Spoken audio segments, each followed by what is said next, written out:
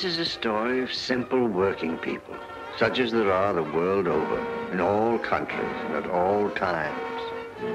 Here are their hardships, their humor, and above all, their heroism. The unconquerable heroism of men who take heroism for granted as part of their daily lives. Neither plaster saints nor romantic rebels. They live these lives far from the limelight, without publicity, often without a spokesman, save when some great crisis or disaster lifts them into the headlines.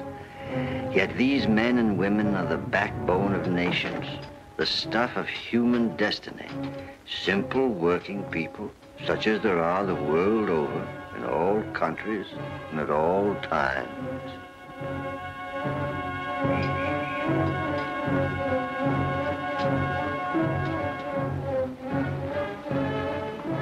Well, Fenwick, do the men work tomorrow?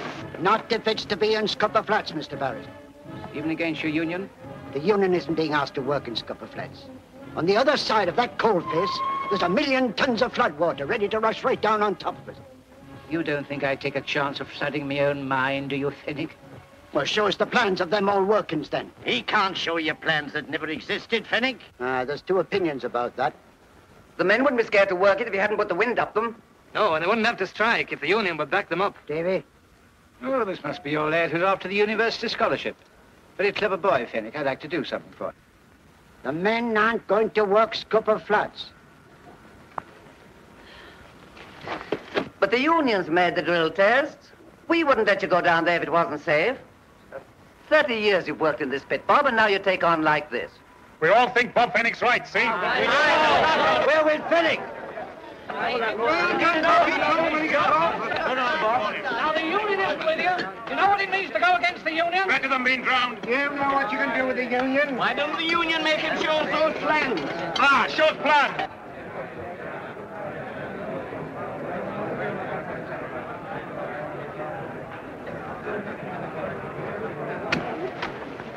But it isn't really dangerous, is it, Father? I'll teach them a lesson.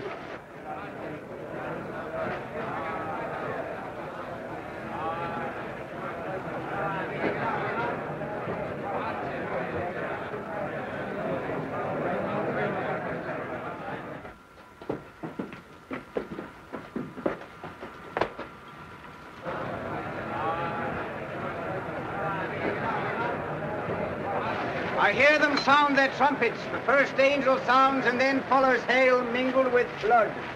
The second angel sounds and asks where a great mountain burning with fire is cast into the sea. And the third part of the sea becomes blood. Not water, my brethren, but blood. Tis not water that has brought us here, but blood. I hear them sound their trumpets. The first angel sounds and then follows hail mingled with blood.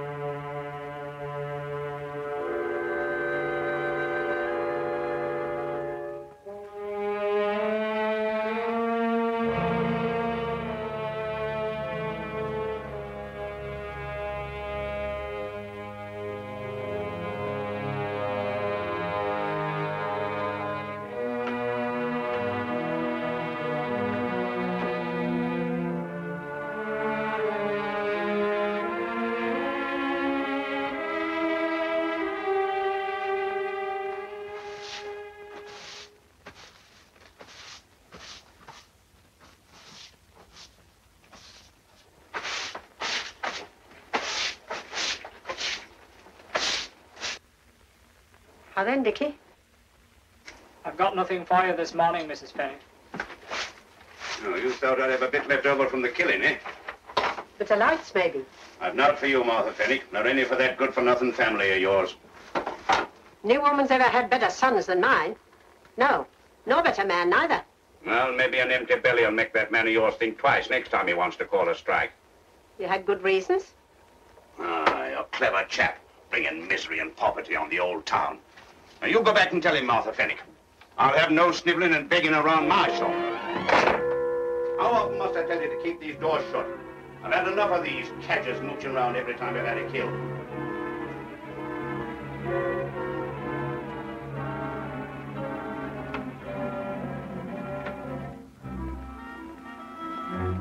Setting up all night. Stuffing your head with that highfalutin rubbish. You and your scholarships.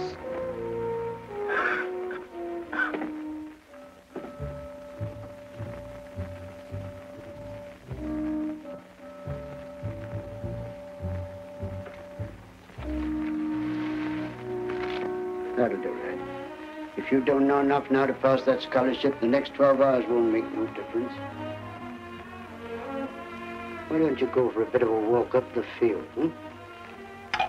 Huey, what is it, Mother? breakfast. Breakfast?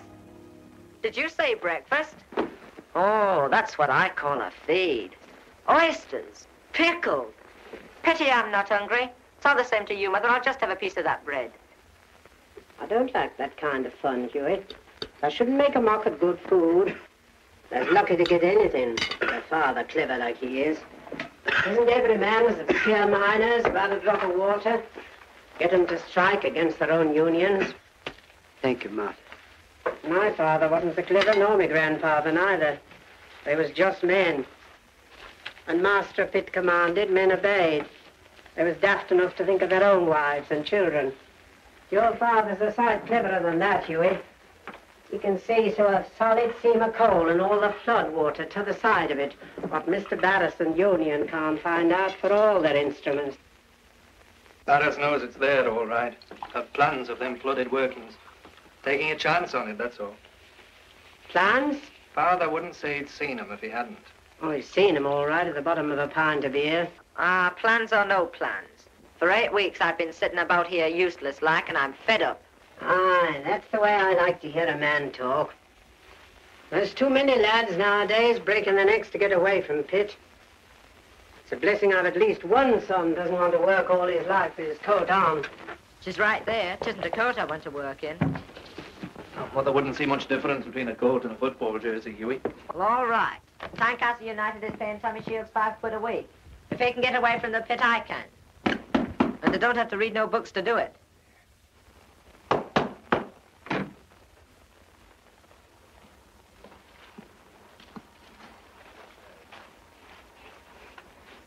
Now then, Davy, Ryan, Joe. you're going to Tynecastle tomorrow for your examination. Aye. By gum, you're lucky. And one of these days you're going to see me in Tynecastle, too. You can bet your life on that. And what would you be doing in Tynecastle, Joe? Well, I won't be listening to a lot of college professors anyway. There's money in Tynecastle, Davy. Money. Money? Huh. Tynecastle's up the spot for that. Morning, Davy. Morning, Joe. Hello, Dad. London's the spot, London. I just heard tell of Laurie E. Cullen. He's making three quid a week up there just singing in the street. That's what I'm after. Three quid a week just for singing. Three quid a week. What I'm after is big money. Uh, it'll be big money you'll be needing and all before you can pay me back all the money you pinch out of my pocket every time I get boozed up. You don't appreciate your son, Slogger. He's a born capitalist. You bet your life I am. You've got to have money if you want to have sport, haven't you? Ever going to make money in the pit? Not on your life. Well, I want to have a bit of sport and I want big money, see, and I'm going places. You're going to college, are you? Well, I'm going to look after myself, see? Ah, you can smile all right, Davy, but where's your high-mindedness going to get you? Wasting your time fighting for the miners. By gum, what an ambition! Right there. I'd sooner stay in Scupper Flats, I tell you. You've only got to look at this whippet of mine, running to skin and bone. Me too. I said so at the time. You said so. Why, it was you two that gave Bobby in the first cheer. He said so. Guinness to the luck to save your skins. You kidded us about them plans, that's all. I kidded nobody about nothing. There's plans of them old workings. I saw them in Barras's office that day I did check weighing for Ted Gribble. Well, nobody's going to get me on that coking coal. I'm not going to drown myself to keep Barras fat. Get out of here! I'll have nothing more to do with you. I'll pay you out for this homage, you see if I don't. You walk out of work and then you come catching the decent folk for charity. It won't be charity you'll get if my missus pegs out. I'll slit your throat, and that's a fact. Off with you, or I'll put the police onto you. You talk of the police as if you owned them.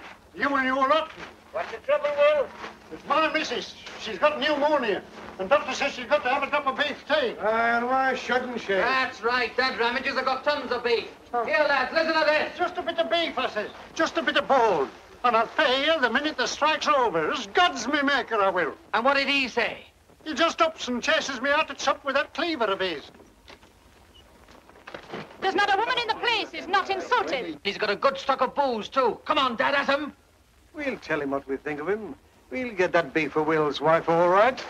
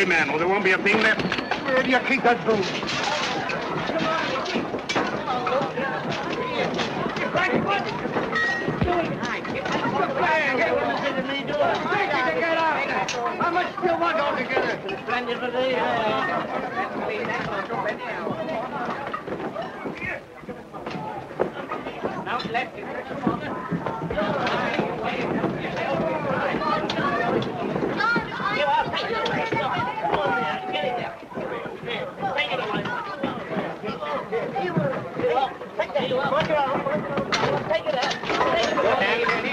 it, you fools! This is the worst thing you can do. Oh, you go. We'll get no sympathy now. Stop it! I'm Mrs. It's starving. You daft idiot! Chuck, put that back! Chuck, you must be daft. Leave that me. The sergeant! The sergeant! Get out! Oh,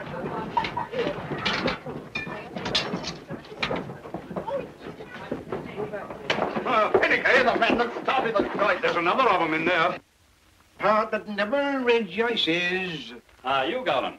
He started it. And that woman of his was up here only this morning making a nuisance of herself. I saw him egging him on. I never did nothing. No, and I don't expect he did anything either. What are you doing with my mate? You leave him alone. You better come along and make a charge. Come on. You saw the old thing, didn't you? I didn't all, Mr. Rabbit. Then you'd better come along, too. Drinking like that on an empty stomach? Over down the mine, Daddy. Let the mine come up to you. I looked and behold Good a pale lad, good horse, luck. and his name that sat on him was Death, and hell followed with him.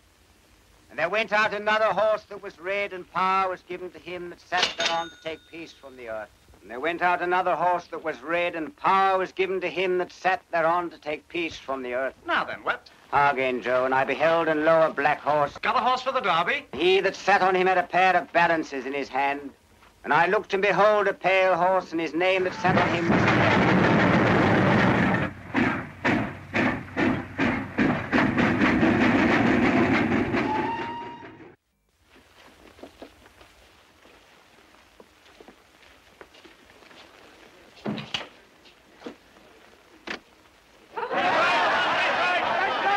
Three months we've had of it now, and a good job we made up our minds to show some sense at last, or we'd have had to put up with it for another three months. Whatever by the look of things. I'm the last man in the world to say out against Bob Fenwick. But where's it got him? In jail. We never had no choice. We never ought to come out on strike. got is to get drowned, the whole lot of you. All you've got to do is to stand out a few more weeks. A few more weeks, my foot. That's what you said when it started. What do we use for grub? Kind of you to sympathize with my father, Mr. Brace. But what have you been doing all these weeks he's in jail? Everything you can to turn the men against him. Now listen here, lads. Barras will soon lose that contract for coking coal, and he won't need you to work scupper flats. Well, what that tell me for? We're the ones who's got to work that coking coal, not you. You were going to that pot college of yours. I get back where you belong. Ah, get on with your education. All right, and what am I going to do in that college? Educate myself to fight. To fight for my own kind, see? I've worked down there with the rest of you, haven't I? I've got coal dust pitted in my skin the same as the rest of you, haven't I? Look, here's something that won't wash out, isn't it, as long as I live? I've seen what the pit's done to some of the men here with your coughs and silicosis and nystagmus of the eyes.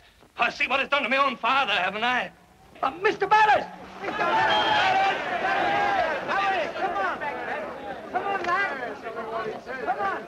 Ah, Brace, we've got a deputation, Mr. Barras. All right. I shan't be a minute, Father. All right, Father. Good afternoon. Good afternoon, sir. Good afternoon, Mr. Barras. Good afternoon, Mr. Barras. How are you, Harriet? Afternoon, Mr. Barras. Ah, young Fenwick. So you got the scholarship, eh? Aye. And when do you leave for the university? Today, I'm waiting for my father to get back. You must let me know when you finish at college, won't you? I might be able to get you into one of the council schools. I'm on the board, you know. It's not school teaching I'm after, Mr. Barras. Oh, well, I'd like to see you get on anyway.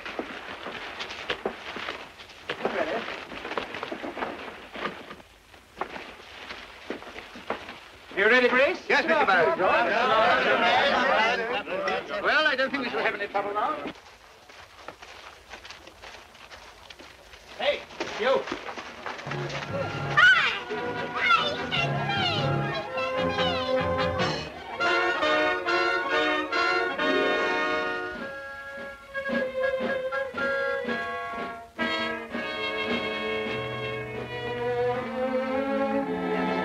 Shirts I'm putting in for you.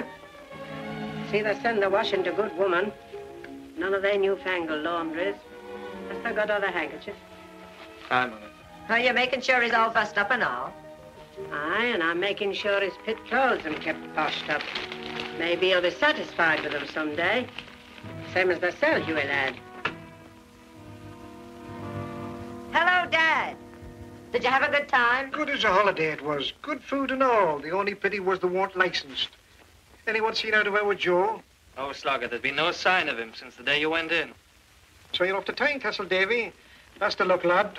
I've got great faith in you. Thanks, Slogger. So long, Martha. None of my family never needed no college education. They was good mining stock.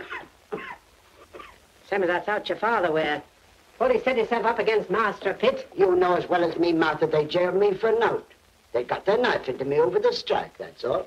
And that don't surprise me. And I noticed all witnesses has come forward to stand up for it. Well, it done one good thing. Left them free to settle strike. So they hurried to get the strike over before I was out, eh? Aye. How's your cough been, Father? This cough will never kill me, Davy. Father, I don't like the idea of your going down Scupper Flats. Oh, I wouldn't worry about that, lad. All you've got to think about is making your way. Someday you're going to do something about this industry of ours. The men have great hopes on you, lad. Aye, they don't talk as if they had. Ah, they think it all the same. What time are you leaving, lad? Well, now you're back. I can go by next train. Well, come along with you. We'll have a bit talking. Oh, thank you, Master. Well, we'll be getting along, Davy, shall we? Aye. So long, Huey. Good luck, Davy. You'll be finding me in Tynecastle and all before three years is up. So long. Well, uh, I'm off, Mother. Aye. Don't forget to keep my pit clothes waiting for me. I don't expect I'll be needing them.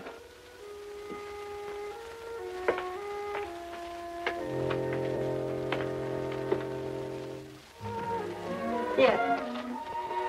You'll want a bite to eat at the train. Oh, thank you, Mother. Goodbye, Mother.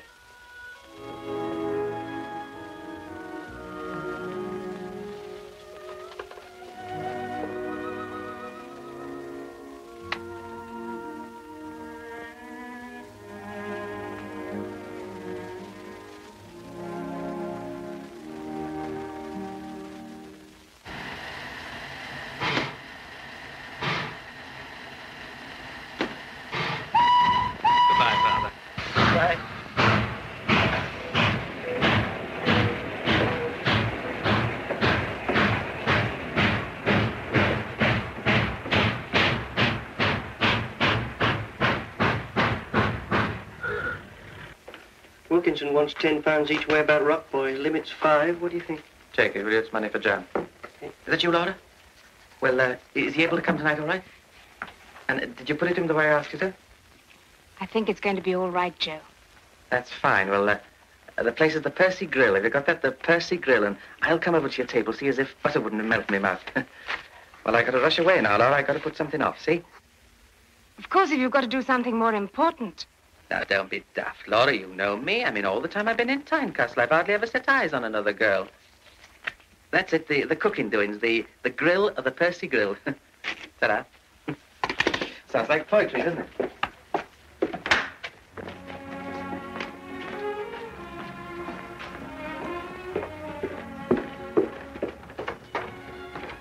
Hello, Joe. Looking for Jenny? Hello, Phil. Yes, I just wanted to see her for a minute, you see. Here, listen, when are you two going to get married? Oh, one of these days, you know, when business books up a bit. As a matter of fact, I got a bit of business tonight, and I wonder if you might give her that message, would you? Okay, the show'll be over soon. I'll tell her. Okay, Bill. Joe, what's the business tonight? Jenny, I was just looking for you. So I noticed. Some other girl tonight? Now, don't be daft, Jenny. You know me. I mean, all the time I've been in Tynecastle, I've hardly ever set eyes on another girl. Well, you can't tell me it's business oh, night oh, after now, night. chuck it, Jenny. You get enough of that from your mother. I mean, I can't help it if I got a bit of business at night, can I? I'd sooner be with you. You know that. Would you, Joe? Honest? Of course I would. I mean, you know me. Well, then, Joe, let's go out tonight. Well, let's have a bit of a fling like we used to. I know we'll go to the Percy Grill. Percy Grill? Yes. Where we went when we first met, Oh, remember? lass, I wish I hadn't got this bit of oh, business tonight. oh, Joe, tonight. let's start afresh. In the same place where we started in the beginning. Joe, I'm talking to you. You might listen to me. All right, Jenny. I'll put it off, you see, and you get out of that fancy dress and I'll wait out All here. right, for you, See? Bye. Davy! Then, Davy. Joe. Ah, it's me, all right. There's only one Joe Gowlan in Tynecastle. There's only one Joe Gowlan anyway. Got that scholarship all right, Davy, did you? Aye. Everyone in Sleescale's been wondering what's happened to you, Joe. Well, as a matter of fact, Davy, you see, after that scandal in Ramage's shop and my old dad getting pinched, well, I just couldn't bear the disgrace and I just had to come away, see.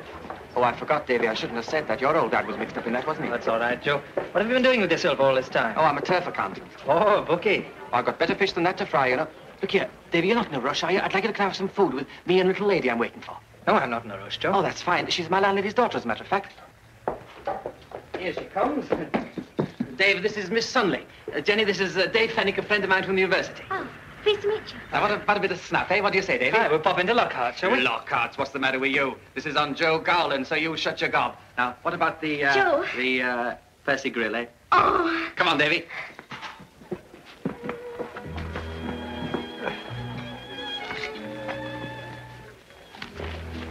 Think I'll have some oysters. You don't mind if I just leave you for a minute, do you? You see, it's uh, one of my clients. It's uh, one of the biggest foundry owners in Tynecastle. It's all right, Joe. Business is business. Back in a jiffy. Joe's a card, isn't he? Yes. Good evening, Mr. Millington. Oh, hello, Gowlan. Got something good? Well, I did hear a whisper about Rock Boy for the 3.30 tomorrow, Mr. Millington. Rock boy, eh? Well, I'll have the same. Oh, Laura, I believe you've met Joe Gowlan. Well, uh, I did meet Mrs. Millington at the Spring Handicap, but I don't suppose she'll remember. Of course, Mr. Gowlan. Won't you sit down? well, uh... Come on, sit down, have a drink. Oh, thank you, Mr. Millington. Smart lad, that, wasting his time in that bookmaking business. What was that horse you said, Gowlan? Uh, Rock Boy, Mr. Millington. Rock boy, huh? Pretty girl, Mr. Gowlan. Your fiancée? No, you've got the wrong end of the stick, lo- Mrs. Millington. She's with a friend of mine from the university, her boyfriend. No.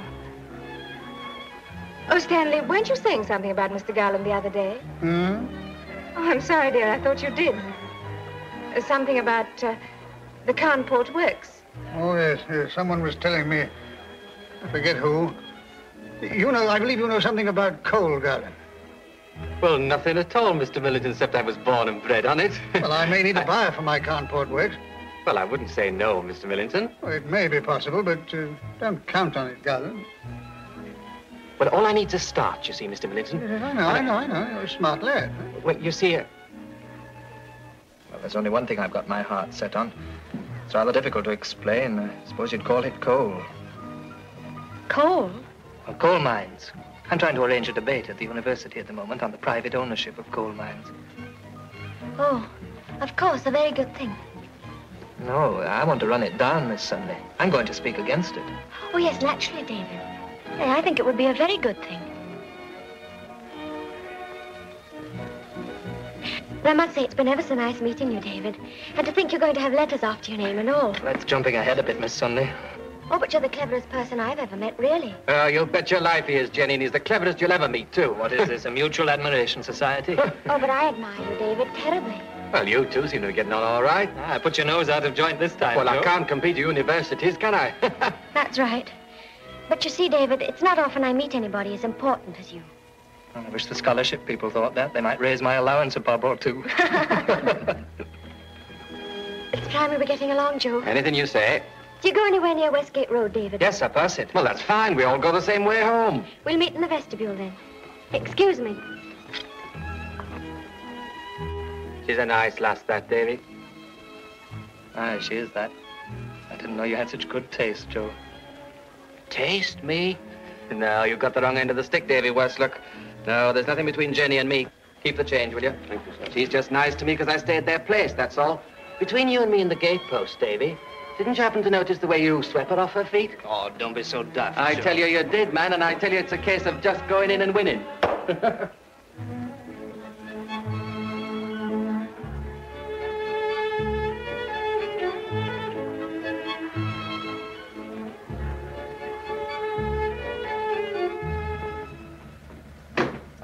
Joe does the whole thing in style, doesn't he? Taxis and all. Is that you, Joe? Is Ginny all right? Of course I'm all right, Mother. I thought you must have had an accident coming home in a taxi. Oh. Mother, this is Mr. Fenwick from the university. I'm Pleased to meet you, Mrs. Sunley. Goodness gracious me, and- and me in this state. It's too bad of you, Ginny. It's all right, Mrs. Sunley. He's as good as one of the family already, aren't you, Davy? Well, I think I'll be going to bed. You'll look us up sometime, Davy, won't you? Of course I will, Joe. Good night, Davy. Good night, Joe. Good night, Jenny. Good night, Mrs. Sunley. Good night, Joe. Maybe we could meet again sometime, David. Well, of course. Maybe we could have tea together sometime. Well, that'd be fine, Jen. Well, if you'll excuse me, I've got a bit of an headache. I think I'll mix myself a daisy powder.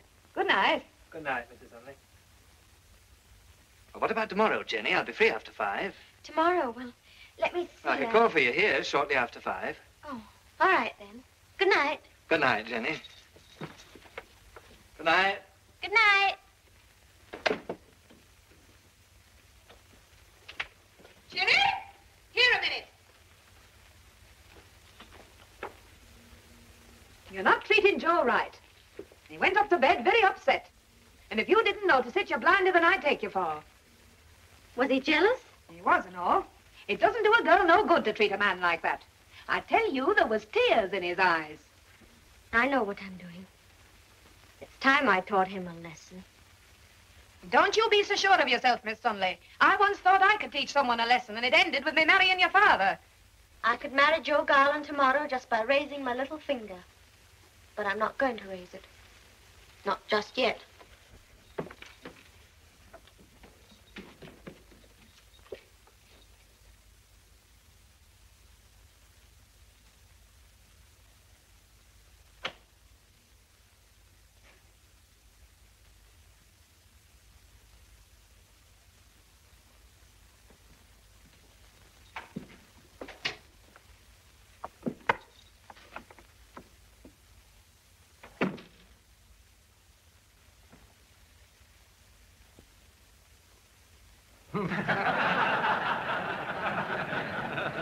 Now, the case for the private ownership of anything varies according to what that thing is. And the case for the public ownership varies according to who puts it.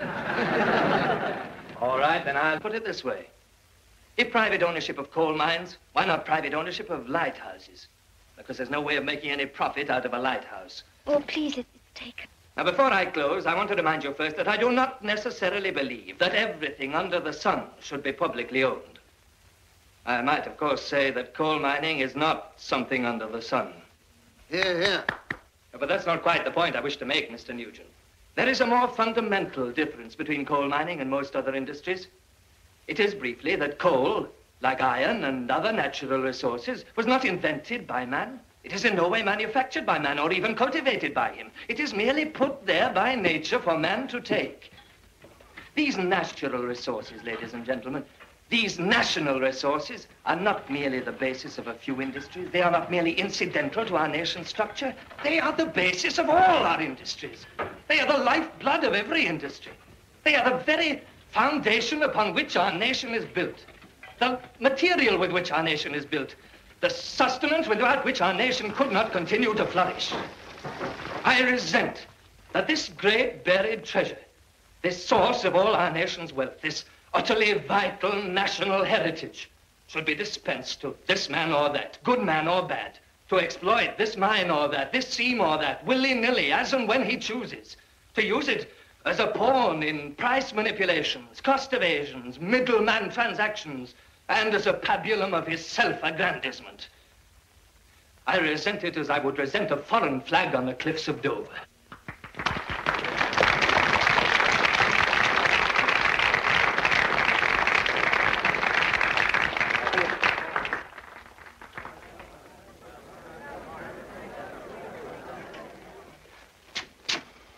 Favorite one, the 230, Joe? I should worry, Nobby. The business is as good as yours now, debts and all. so You finally got that job, then? you bet your life I did. And you know where to find me to settle everything up, don't you? But if Jenny comes nosing around, you don't know where I am, see? Because I got to get packed and away before she comes home, see? Well, so long.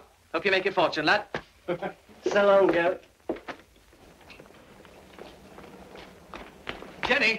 Oh, there you are, David. I thought you were ever so nice. Did you really, Jenny? Look, would you I like wonder some... what happened to Joe. He said he'd be here for sure. Well, I said for sure he'd be at Jesmond Dene yesterday, under the picnic last Sunday. Well, maybe he thinks we like being alone together. Oh, that would be it, wouldn't it? Well done, young Fenwick. Oh, thanks, Mr. Nugent. I suppose you haven't any ambition for politics, have you? Well, as a matter of fact, the subjects I'm studying most, sorry, subjects I'm studying most are political science and economy, and of course every now and then for a change I read your speeches in Parliament. That's what he's cut out for, talking shop. Oh, I'm sorry, Miss Sunley, Mr. Nugent. How do you do? Well, you come and see me when you've got your degree. I might be able to push on a bit. Oh, would you, Mr. Nugent? Well, I might only get your degree first. Yes, I will.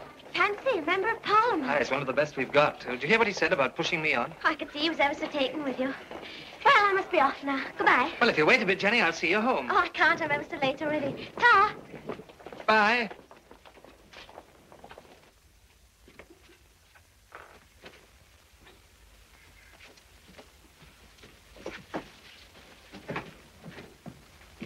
Oh, I didn't know you were in, Joe. Hello, Mrs. Sunley. What's the meaning of this, Joe? I knew it. I told her you'd never stand it. I told her she was treating you shocking. Worse than shocking, Mrs. Sunley. I... I just got one of them anonymous letters about it. Fair broke my heart, it did. It's a disgrace. A real disgrace. No, it's better you shouldn't see it, Mrs. Sunley. I mean, there she is out again with him today. Oh, Joe, won't you have a talk with her? No, I won't. I've suffered enough. It's bad enough, Jenny behaving as she's done, but when it's my best friend, I mean, it's more than flesh and blood can stand. I must say, I'd never have thought it of a fellow like Davy Fenwick. I only hope, Mrs. Sunley, that for Jenny's sake, that his, his intentions is honourable. Right, come, I'll tell her a thing or No, two. I'd sooner you didn't, Mrs. Sunley. I'd sooner you didn't say anything to her at all. I'd better no ill will. I just wanted to be happy, that's all. I tell you, she's a bad, heartless girl. For two years now, you've been taking her out as good as you're intended. And now this hoity-toity college professor comes along and you're not grand enough for can't bear no more, Mrs. Sunley. I, I just want to be by myself, that's all. I know how you feel, Joe. Maybe you're looking at the kitchen on your way out. I'll have a nice cup of tea for you. It's real kind of you, Mrs. Sunley.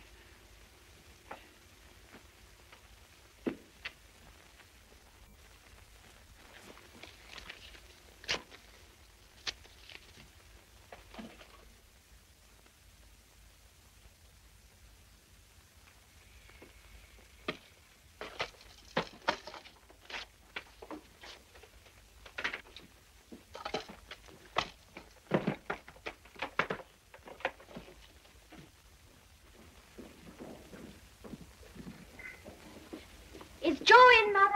Aye, but only just. What do you mean, only just? I'll tell you what I mean, young lady. Joe Gowlan is packing his bag. Packing?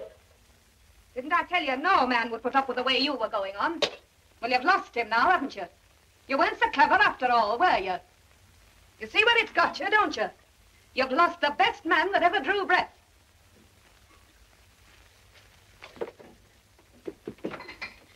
Joe! Oh, Joe.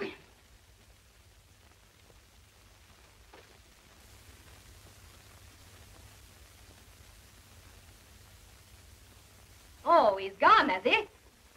Well, you can't say I didn't tell you, can you? Don't, You've lost him and you deserve it. You'll never get another like him if you ever get another at all. Oh, Mother, And I it wouldn't surprise me if you didn't. You don't grow younger, you know. You can't carry on as though there were a thousand young men all lying in wait for you because there isn't. You and your raising your little finger. Well, you left it a bit late to raise your little finger this time, didn't you? And to my way of thinking, that's what you'll do for the rest of your life. Just be a little too late. You don't find good fellas like Joe Gowlan every day in the week. And mark my words, you keep on making a fool of yourself, you'll finish up like your Aunt Lily, an old maid.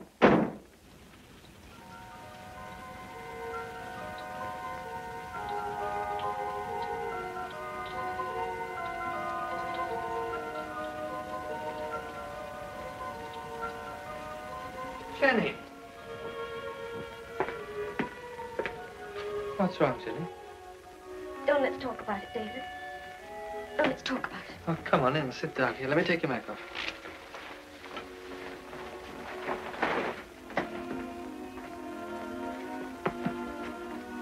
What is it, Jenny? It's Mother. She's been on at me. She's been on at me all the time. It's not my fault Joe Gowlan left, is it? Joe Gowlan left? I couldn't stand him, David. I couldn't stand him. I don't quite follow, Jenny. I didn't know he was mad about me. Joe Gowlan mad about you. Why, he told But me that's what she says, David. That's what she says. But I never gave him no encouragement, did I? Of course you didn't, Jenny. No. But you see, he left because... Because he found out that I liked you more than him.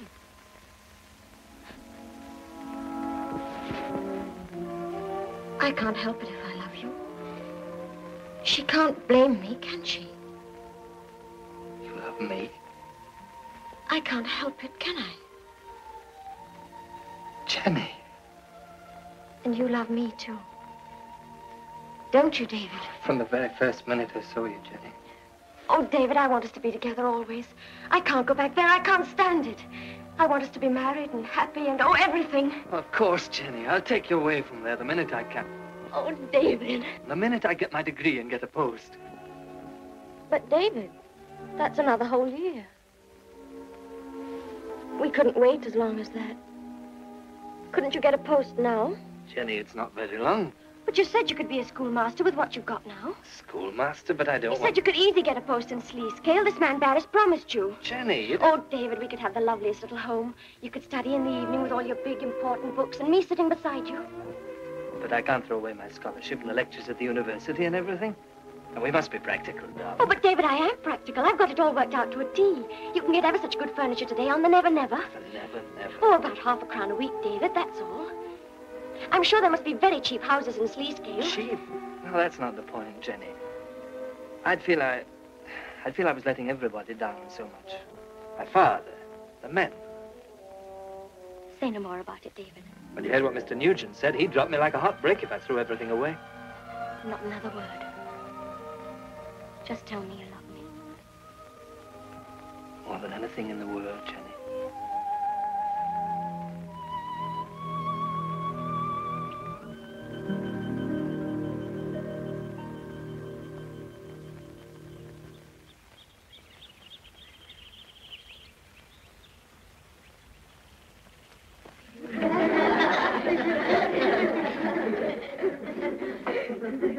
Good way to remember this, lads.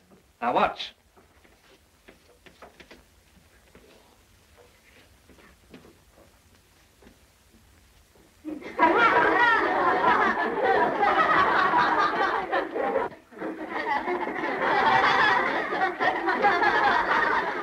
Now, what's that?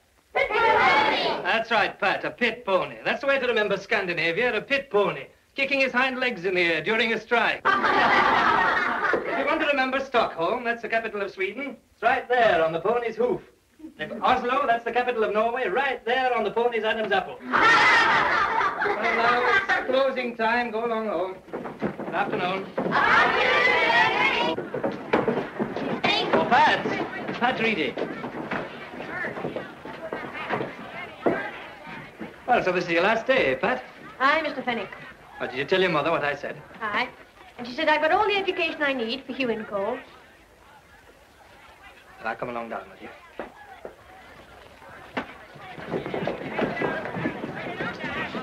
Fenwick. Yes, sir? Wait for me a bit, will you, Pat? I understand, Fenwick, that Mr. Barras offered you the opportunity of coaching his son in the evening, and you saw fit to refuse. Well, the evenings are my only chance for studying for my degree, Mr. Strother. Hmm. A pity you didn't think of that before you ran away from college. You'd have had your degree by now. You wish to see me, Mr. Strother? Eh? Yes. Yes, we're getting that laughter in your class again. I must remind you once again, Fenwick, education is a serious matter. A child's whole life may depend on it. But, Mr. Strother, in an article on modern education... I learned all I need to know about modern education before you were born. The basis of it is to have teachers with proper degrees. We may keep you here to oblige Mr. Barras, But we cannot keep our eyes closed to your limitations if you refuse to be sensitive of them yourself. I'm sorry, Mr. Swanner. Another thing, Fenwick. Scandinavia is not a horse. Let me refer you to Gray's Geographical Compendium for Pupil Teachers, page 173. You will find these words, Fenwick. The shape of Scandinavia may be likened to that of a bear. A bear, Mr. Fenwick, a bear. But, Mr. Strother, these boys have never even seen a bear. Precisely. We teach them two things at one and the same moment. The shape of Scandinavia and the shape of a bear. You may go, Fenwick. Thank you, sir.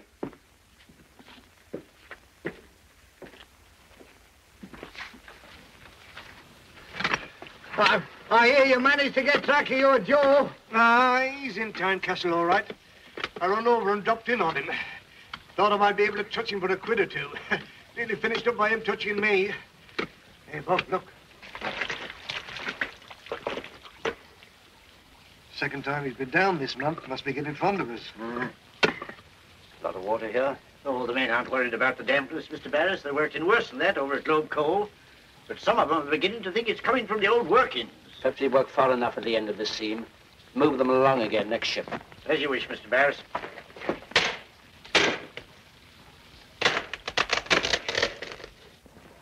I'm not nagging at you, Pat, but you've got a good brain. You've got no right to throw it away. You've got no right to go down the pit. You can be more use than that to yourself and everyone else. What's wrong with pit? It's a man's job, isn't it? I thought that when I was leaving school. I thought it was grand to have a man's job. Oh, then, Davy. Hello, Huey. Did you see the match lineup today? Aye, I did. You're getting on grand. I have my name mentioned in the Tynecastle Chronicle and all. It's bound to be seen, isn't it? Aye, of course it is. Uh, when are you coming up to the house, Huey? Jenny hasn't seen any of you for a couple of months. I'll be dropping in one of these days. Got to put in a lot of training, you know. Sorry. Remember me to Jenny. You see what our Huey thinks about pit work, Pat. He's not mad about football just because of the exercise, you know. Well, somebody's got to go down pit or we wouldn't have any calls. Yes, I know that. Oh, Mrs. Reedy, I was hoping to... Don't you, Mrs. Reedy, me. I know the blether you're trying to stuff into my lad's head. Get in, Pat. And where do you think your education got you? 45 bob a week. Let me tell you this, Mr. Smarty. When our Pat's your age, you'll be fetching every bit as much as that. And no mucking about for a couple of years before he does it. Ha! Such a lot you were going to do for the men. Going into Parliament and all.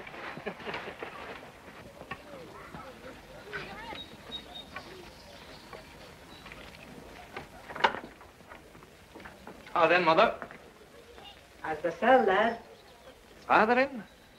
He'll be back in a minute. Come on in, I'll give you a bit of bacon. You can wait for him. I'd better be getting along, Mother. Jenny's got a bit of veal and ham pie waiting for me. Please the cell, lad.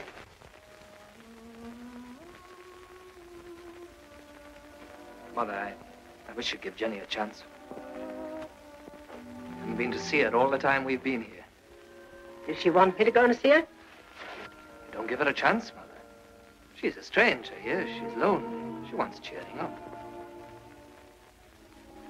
Wants cheering up, do she? Lonely? Why should a woman be lonely with a man her own to look after? Maybe I should be lonely and all if I thought of nothing but getting about.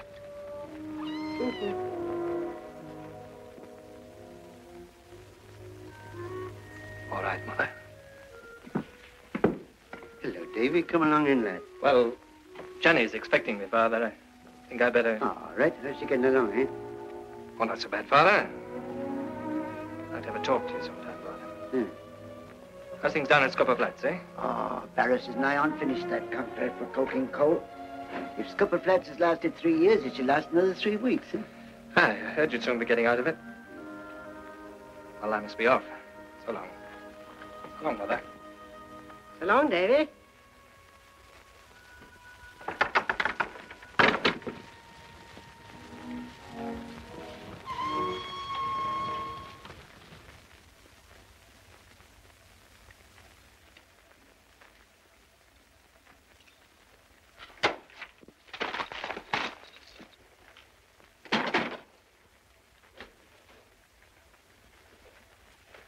Virginia.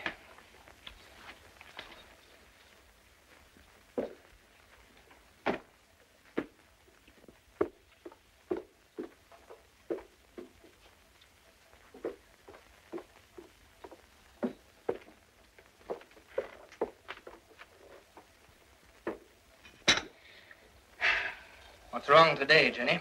Nothing's wrong. Nothing's wrong at all. I wish you wouldn't eat with your fingers. Have such a wonderful life, I'm sure. With no maid, and all the lovely housework to do. Not even a wireless set to annoy me in the evenings. And I suppose if I was to ask you to take me to Tynecastle tonight, you'd think I was insulting you. Oh, no. Nothing's wrong. Oh, We've been going out too many evenings lately, Jenny. Even if we could afford it. You might say excuse me when you leave the table. Afford it? It's a pity you didn't think of that when you turned down Barras's offer to give his son a little tuition. You can never afford anything. I can't even call my furniture my own with the Never Never man pestering my life out. And I even had to pay for the honeymoon.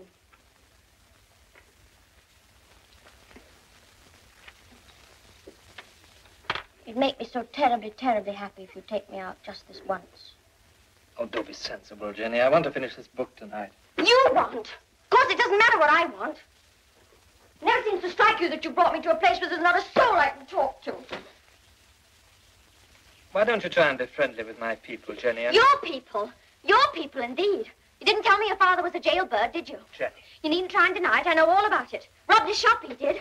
Nice kind of father-in-law for a... Ah! Jenny. David, it was wicked of me, wicked. should have done that, Jenny. You shouldn't. Oh, but I deserved it. Every bit of it. I'm a bad, heartless girl. I'm, I'm just a drag on you. I'm... Your nerves are on edge a bit, darling, that's all. Yes, that's it. My nerves. I need cheering up, David. Yes, of course. If only for your sake. I know we'll go to the Percy Grill, where we first met, remember? We forget all our silly little squabbles and start afresh in the place where we started in the beginning. Yes. Well, maybe you're right, Jenny. Run along, get ready. Oh, David, you're so sweet to me. We can just catch the 520. Darling. I'll be down in a minute. David, that's the laundry. You see them, will you? They're trying to charge me nine bucks too much. Tell them I'll attend to them tomorrow. Ah, now then, son. Mother. Well, come in, come in. She's brought Jenny a drop of that homemade broth of hers. Oh, that's fine, Mother. Come on in. No, that's the kitchen, Mother. Here's the drawing room. Drawing room? Hey, it's oh. grand, isn't it, Martha? Maybe Jenny's tidying up the kitchen or something. Uh, Jenny thought you were the laundry. They're trying to swindle her out of ninepence or something, but Jenny's not having any. Laundry? That's a thing never gets the chance of swindling me. Well, sit down, Mother. Here's a fine chair. You can sink into it like... Tea in the parlor, eh? Oh, once in a while. Murchison's shop cake? Oh. I get you a drop of port, Mother. To cheer you up. We don't want to interfere with your studying, lad. Oh, I can chuck you for this one night, Father. It isn't so often we get a chance for a talk, is it? No. Oh, here she is. Well, how's that for a quick... ch- Visitors for you, Jenny. Oh, How are ah, you, lad? this is a great pleasure, and such strangers, too. What a shame you just caught David and me going out. But Jenny, Isn't Mother it and pretty? Father... You see, we promised some friends to meet them in Tynecastle, and we really couldn't disappoint them, could we, David? Oh, pretty.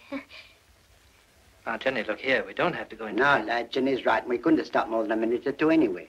Of course, and you can easily come in again sometime, can't you? That's right, lass. Well, you can still have a drop of port, Mother. I don't know what gave you the notion that I'd taken to drink. The lad's just trying to be pleasant, Mother, that's all. David, hurry up. We'll be late for the train.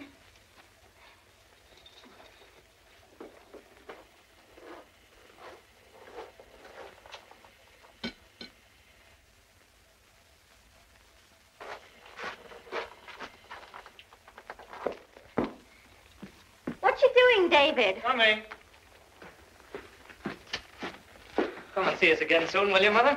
Yeah, best send your postcard first. Oh, good night, Mrs. Fenwick. Good night. Good night. Good night, Mother. Good Night, Father. Night, Davy. Blessing of at least one son who's not breaking his neck to get away from pit.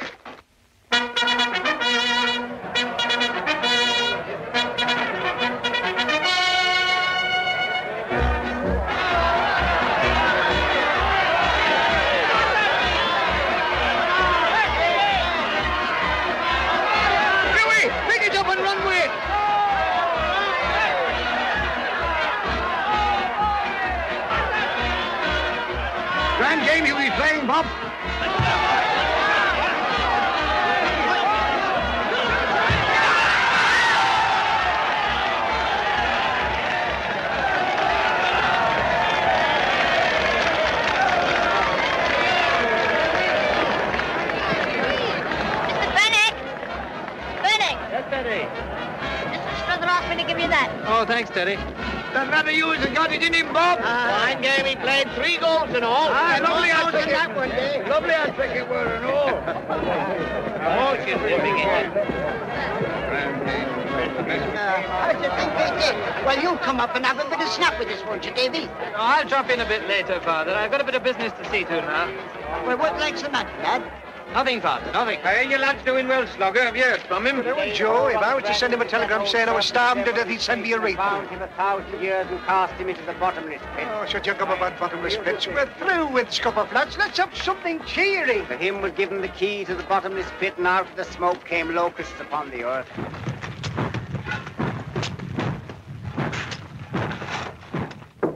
Come in. Yes? Yes, I'm expecting him over. Yes, Finney, what is it? Well, I was wondering if you still wanted a tutor for your son, Mr. Barras. Oh, you've changed your mind, have you? Well, I needed the time for studying, but now that I'm leaving the school... Oh? Yes, Mr. Strother's just given me notice. Yes, I heard you weren't giving satisfaction. It's a great disappointment to me, Fenwick, after all the trouble I'd taken to get you in there. I believed I was producing results. Yes, well, if the school doesn't consider you efficient, I'm afraid... Still, I'm a fair man. I'll give you another chance. Thank you, Mr. Barras. Of course, you can't expect quite the same terms. And let me see, what was it I offered? Half a crown a lesson, three lessons a week. I'll tell you what I'll do, Fenwick. I'll give you ten shillings a week for five lessons. You can start tonight. Go along now and arrange it with my son. Good afternoon. Thank you. Why, my dear fellow. I didn't know you were waiting. It's all right, Mr. Barras. How do you do, Mr. Gowlan? Fine. Anything Millington's now, aren't Uh, you? and a partnership in the offing, too. There's one thing I like is to see a man get on, especially one of my own men. And you used to be that, didn't you? Proud of it, Mr. Barras, proud of it. Well, if it isn't Davy Fenwick. How are you, Davy, lad? Fine, Joe. How you getting on, Davy? Fine, I've just pulled off a big deal. That's right, Davy. Is there anything I like is to see a man getting on. Remember me to uh, Jenny, will you?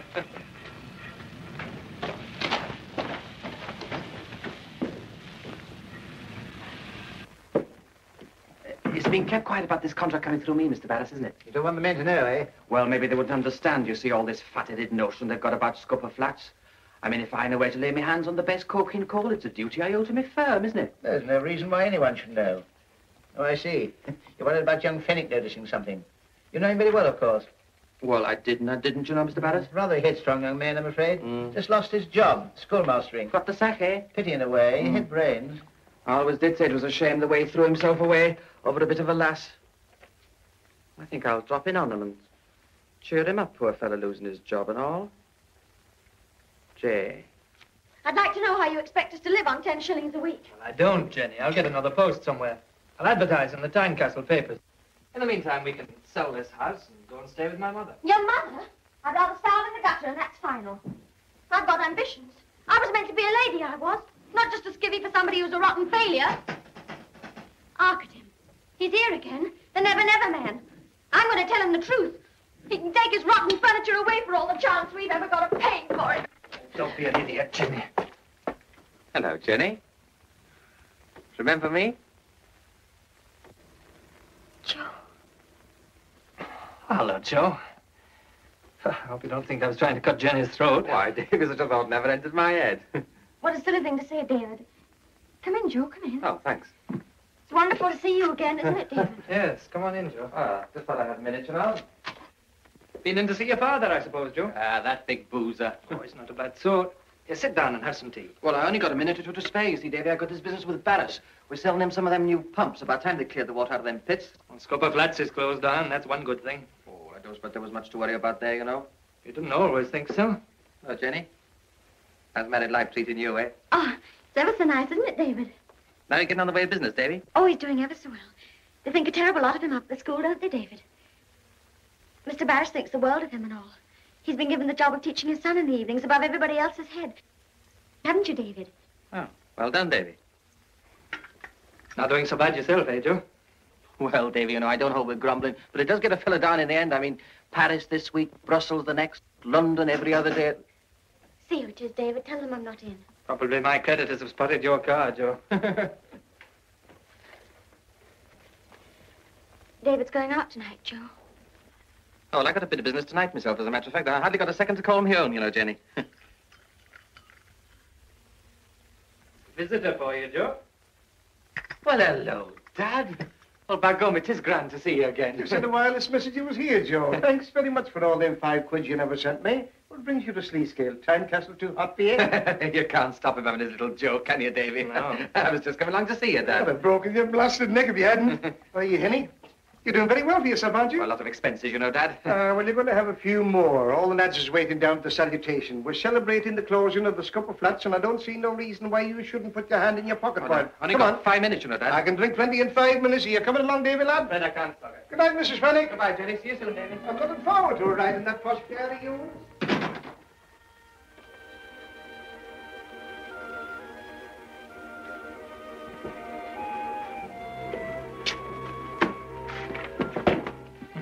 Joe always makes me laugh.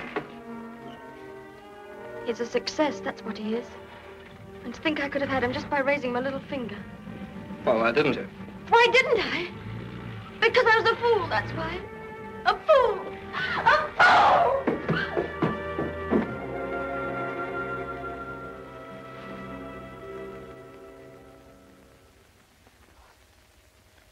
This, therefore, is the relative change between the second variable and that of the first. Now, obviously, if A does not differ from X, this ratio has no meaning. I'm Glad to hear it has no meaning. Certainly hasn't any for me. I tell you, I'm no good at mathematics. I don't want to be an engineer anyway. Well, what are we wasting our time for, then? Father wants me to follow him at the pit. I loathe it. All this scupper flats business and everything. Still, the men didn't break through. Their luck held out. Yes. Yes, it did, didn't it? Just held out. What's worrying you, Arthur? But their luck won't hold out forever. Is it anything to do with Mr. Gowlan?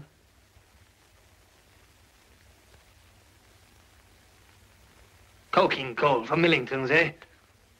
The Scupper Flats isn't closing down after all.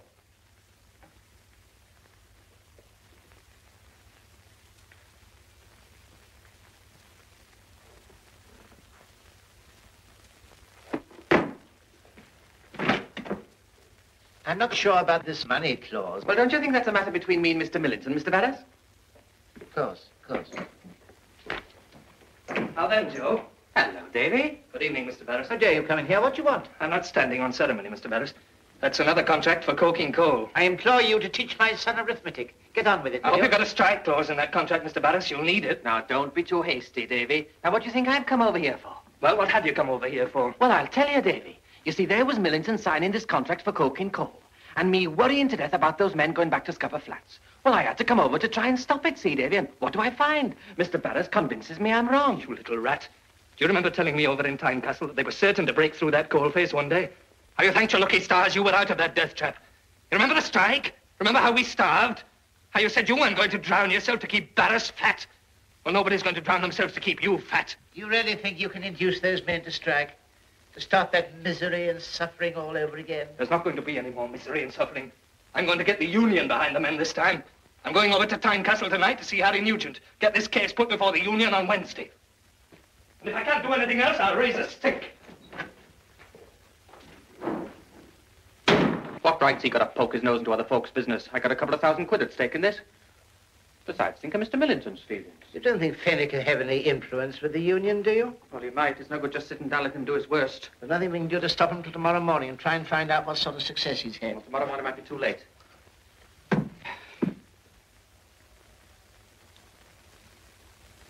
How's he going to get back from Tynecastle tonight? He can't. There isn't a train. Well, let him go and see his Mr. Harry Nugent, MP. Thank you, Mr. Barras. Good night, Mr. Barras. Good night, Gowlan. See yourself to the door, will you? I'd rather... All right, Mr. Barras. Oh, Gowlan. If there was any danger, there'd be plenty of warning, wouldn't there? The pitch, you mean? Yes, of course there would be, Mr. Barras. Good night, Mr. Barras. Of course.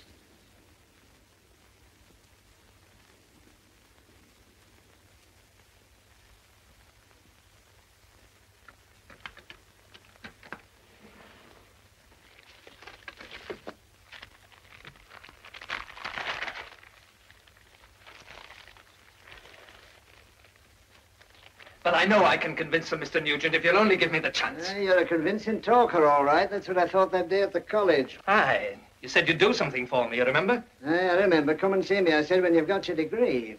You know, I had great hopes of you, young Fenwick. I had a notion you might be just the right lad to step into my shoes in a year or two.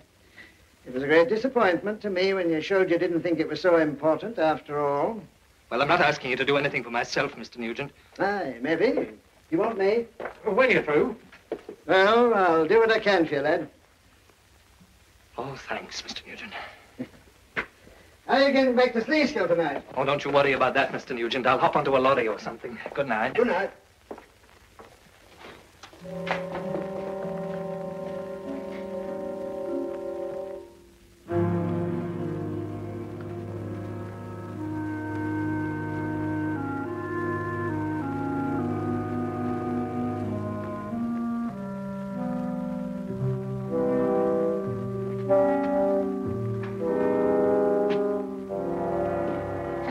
Davy, I thought you was never coming back. Did you, Joe? I just had to come round, you see, Davy, to settle a little bit of difference, you see? Forgive and forget, eh, Joe? That's the way, Davy. I mean, you and me's been pals all these years. It didn't seem right. Let a bit of misunderstanding come between us, did it? There's no misunderstanding as far as I'm concerned, Joe. That's the spirit, Davy. I mean, two sides to every question, eh?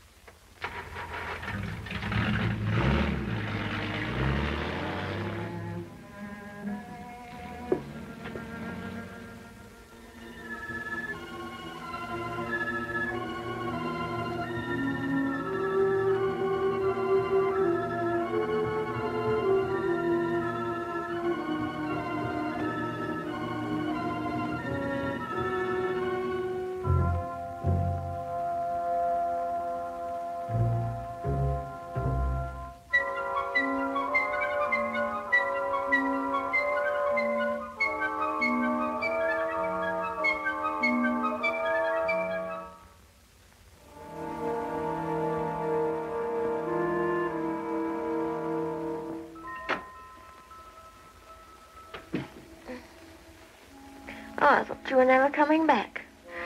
Where have you been all this time? Fine, Guzzle. You're so quiet. Come tell me all about it. It wasn't about one of those silly old mining things, was it? Yes, Jenny, it was one of those silly old mining things. You know, David, I wish you wouldn't waste all your lovely brain on these things. You know, I've had a great idea. Have you, Jenny? You see, I've been thinking about you not having a job and everything.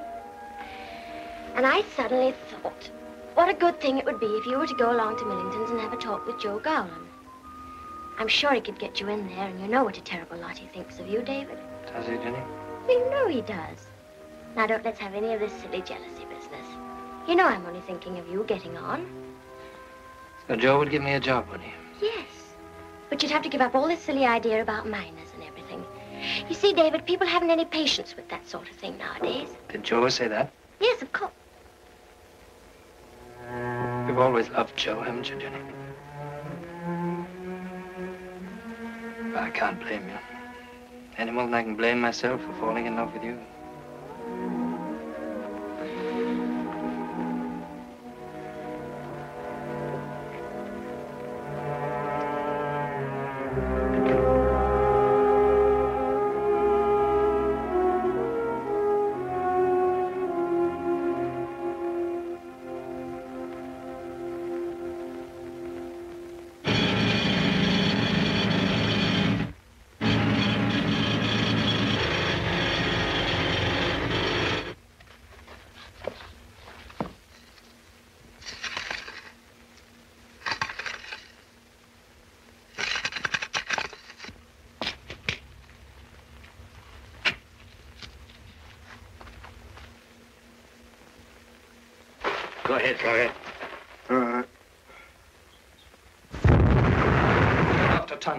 After ton, further and further into that barrier. A barrier, gentlemen, which is holding back a million tons of flood water. They've taken drill tests?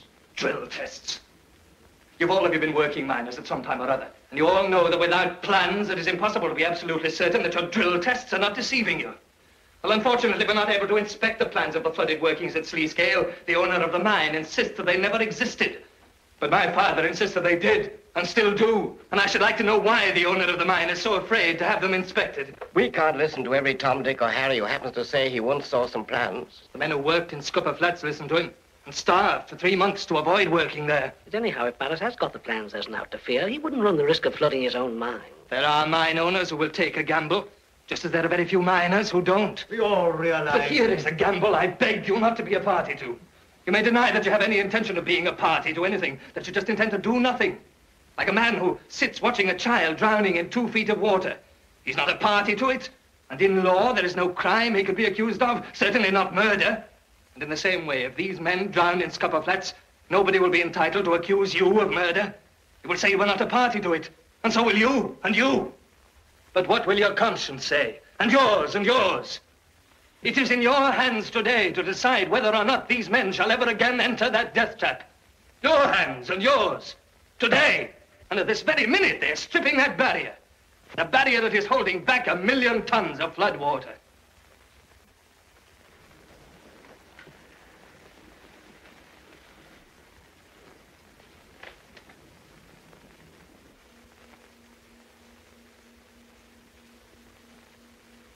Mr. Chairman.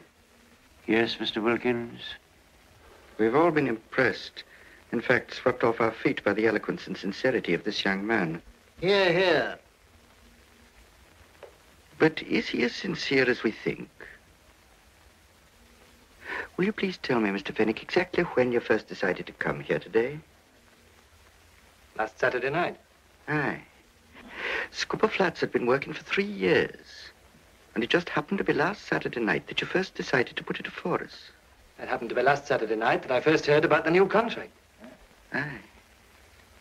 A contract which you knew was of great value to Mr. Gowlan. What are your personal relations with Mr. Gowlan, Mr. Fenwick? We used to be pretty friendly. Aye. Up till last Saturday night, I think, Mr. Fenwick. The night you decided to try to put a stop to this contract of Mr. Gowlan's. You and Mr. Gowlan quarreled? That has nothing whatever to do with my coming here today. It was a very bitter quarrel, Mr. Fenwick. It came to blow. I've told you it had no connection whatever with my coming here. I believe it was your wife you quarreled about, Mr. Fenwick. Your wife has left you as a result of it. Hasn't she? What's that got to do with the danger to Scupper Flats?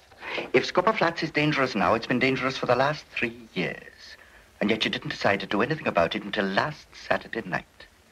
The night that you had this violent domestic quarrel with Mr. Gowlan.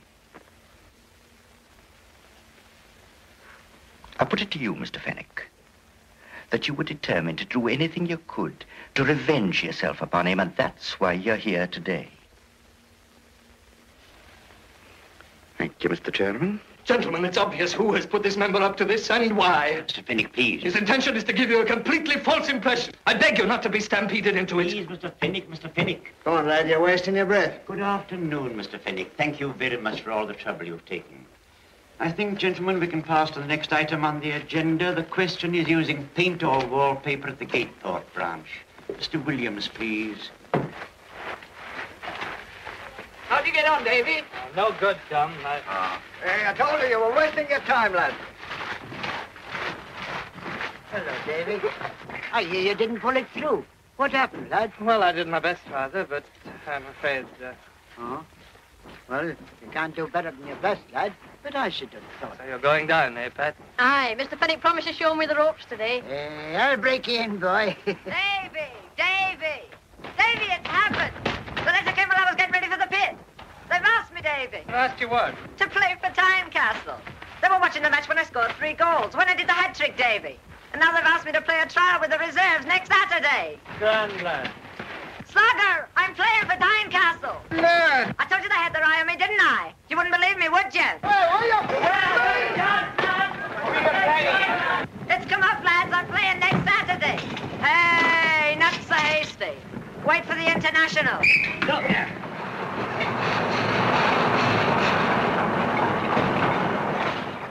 come on, come on. Gonna be all day. All right, all right. I'm just putting in the artistic touches. You coming to see me play on Saturday, Slogger? Of course I am, lad. Of course.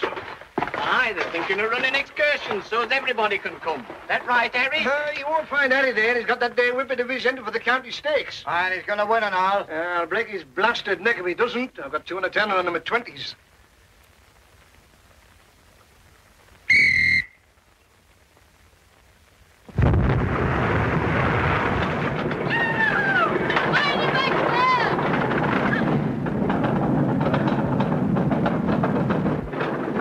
Hey, what do you think this is? The scenic railway? I'm just saving Scandinavia a bit of trouble. Scandinavia. Yeah, come on, let's get this propped up. Oh, I don't see no hurry. I don't see why we should slave our guts out just for our Joe's benefit.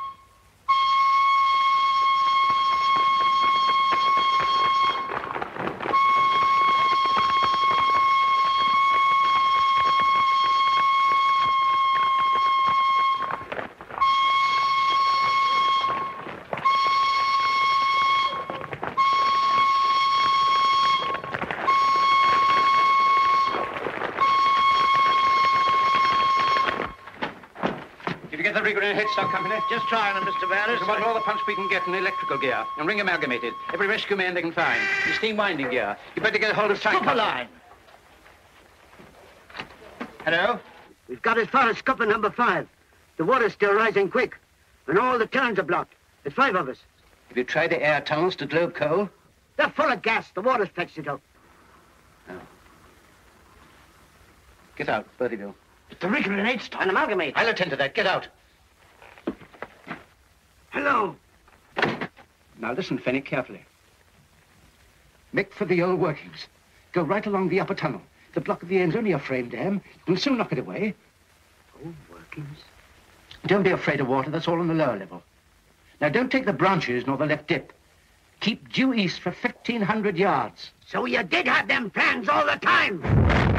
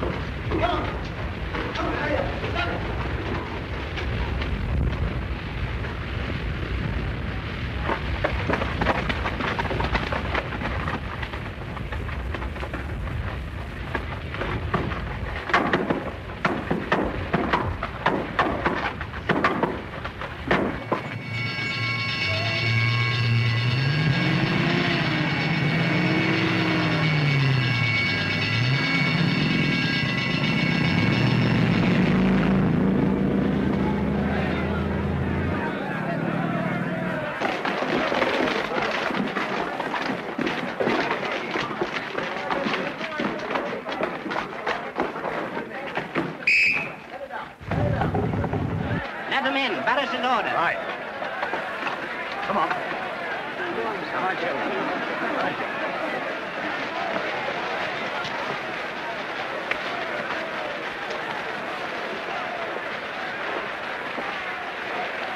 My son's down there, Barras.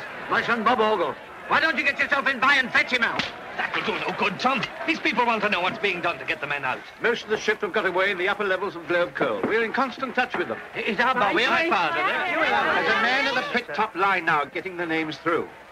Your husband, Mrs. Fenwick, was cut off on the other side, but he mm. managed to find a way into the old work. You were there. There are five others with him. I don't know who they are. Can I join the relief Yes, party? come along. Stay here in the yard, Mother. It'll be all right.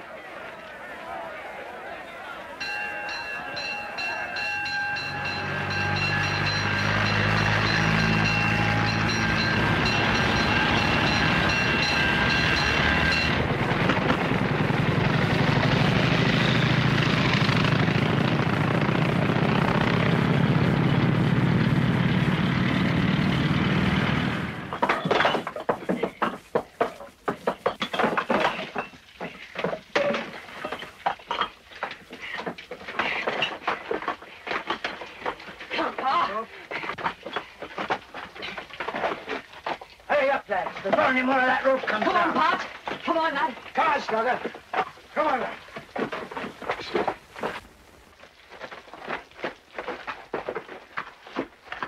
What's your step, Huey? You'd not be much good to United with a broken leg. I'll still be much better than some they've got.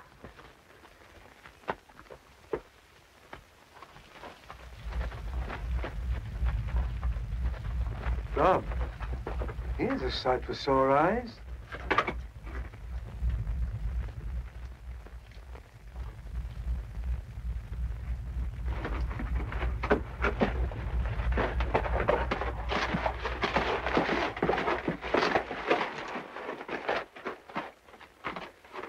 Hey, there's no frame dam about this.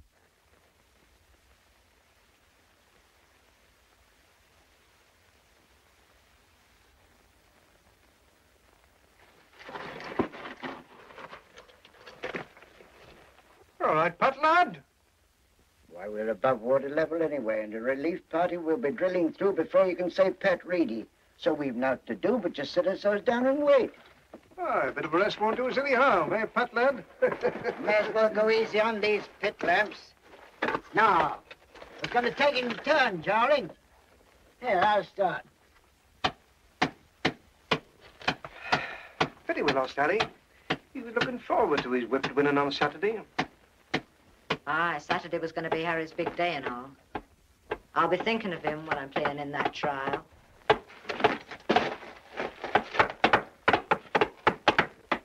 Oh, my, you should see us coming. Passing the folks along the road just as they were standing. There was lots and lots of lasses there, and all with smiling faces, getting along the Scotswood Road to see the Blaydon Races. Oh, ah. my.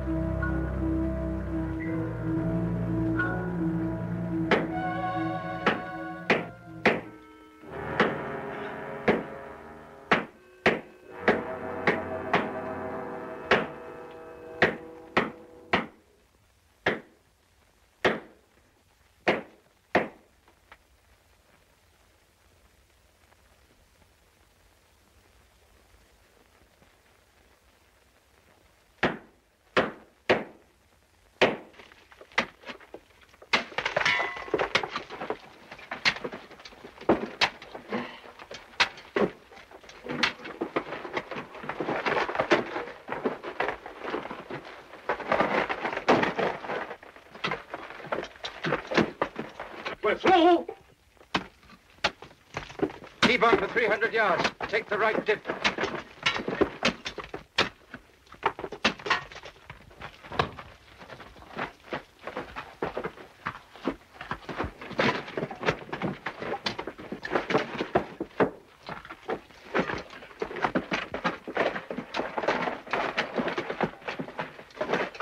It might be half a mile there. If only we had some plans of this place, we'd know what we were getting at. Plan wouldn't remove that fall. We must expect difficulties. We must blast a new roadway above it. Come on, then. Let's get on with it.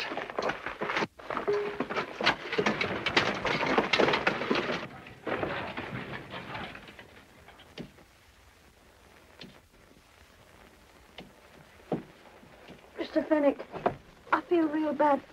It's my stomach, I think. I know, lad. Would you believe it? I don't expect there's a lot of nourishment in 'em, but they're better than out.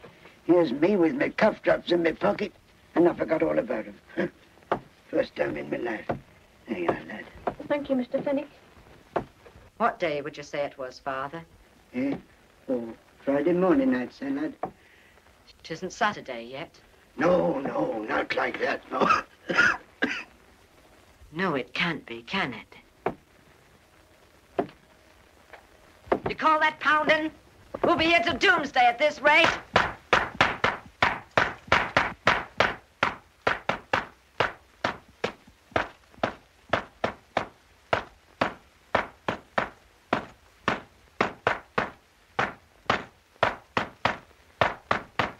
We've got to be out by Saturday. Uh, before closing time and all. By gum, what I could do to a pint. Still got that last drop, lad. Would you like it now?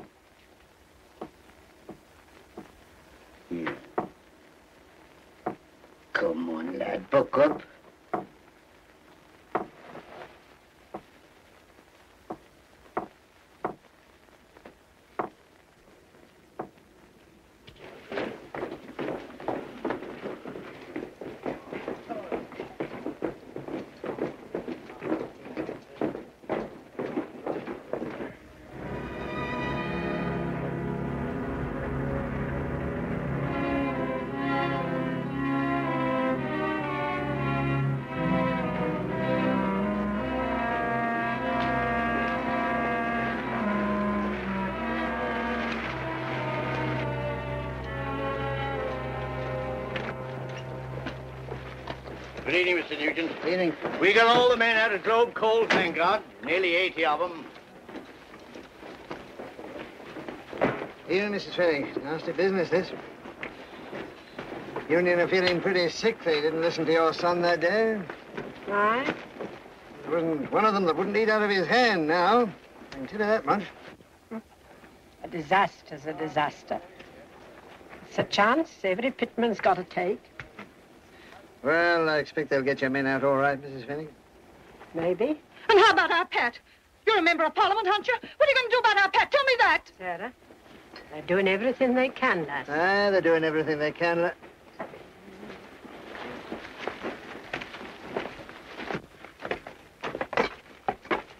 What's the matter, Doctor? Stroke. Been overdoing it.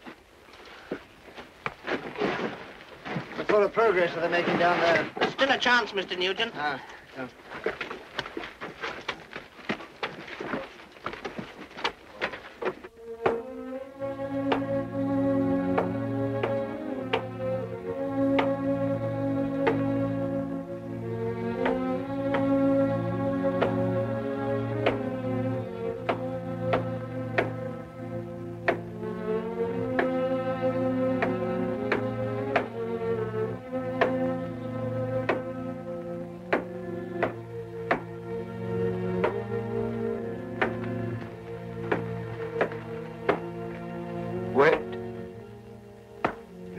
Should have a service.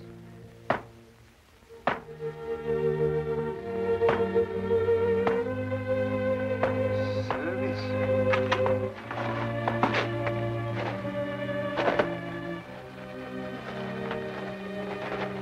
Let us take for our text the 12th verse of the 8th chapter of the book of John. I am the light of the world. They that follow me shall not walk in darkness, but shall have the light of life. Down in this pit, dear brethren, there is darkness. All around us there is darkness. But the light of the world is here, even here, in the darkness of this pit. What's all this preaching about? This isn't Sunday. It isn't Sunday, is it? It's not Saturday yet. Wormwood and gold, my brethren, is our lot upon earth. And the fourth angel sounds, and another star falls in the bottomless pit. Ah, for the shock of it, wept. I see it, my brethren. I am given the gift of prophecy. I am a prophet in the paradise pit. Sit down, man, sit down. I see them. I...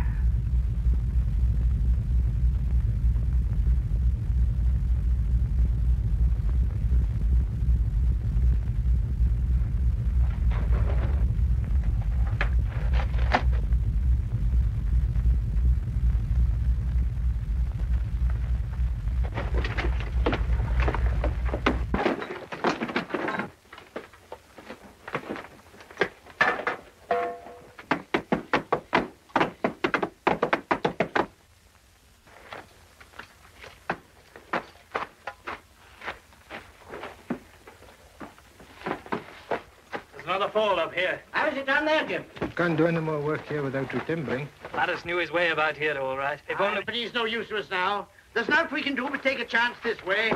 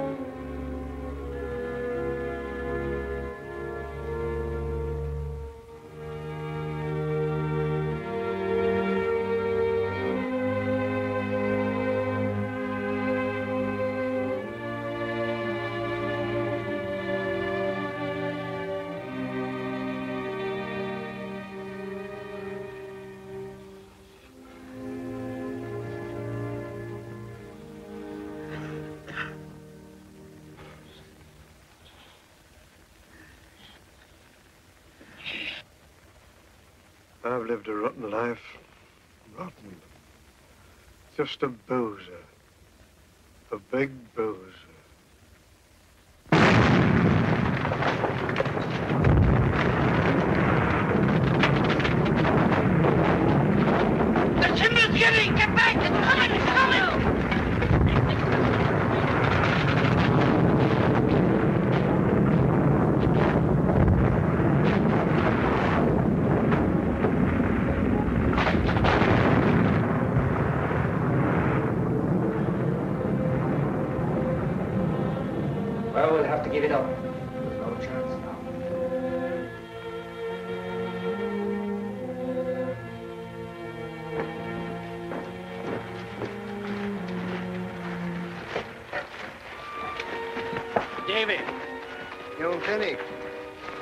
want you to represent the men at the inquiry.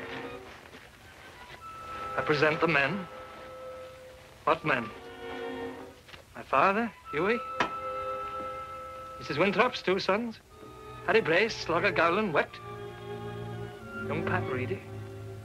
What am I going to say when I represent the men? It was all very sad. No one was to blame. I know what your heart's set on, lad, and you'll get your chance to fight for it. The world's like a wheel. Your turn will come. The way you said that, it sounded like my father. Good night, Mr. Newton.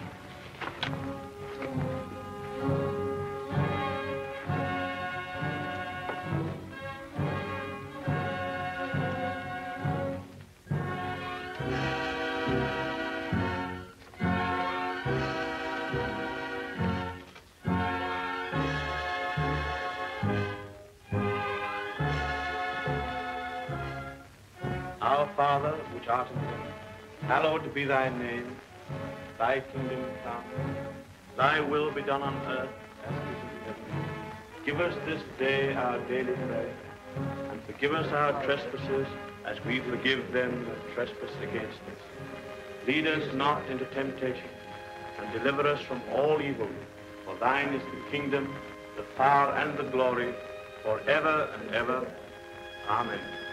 And so, out of the darkness of the world that is, into the light of the world that could be and must be, a world purged of its ancient greeds, a world in which dreams are not empty nor sacrifices in vain, a world of infinite promise which the unconquerable spirit of man will someday forge into fulfillment.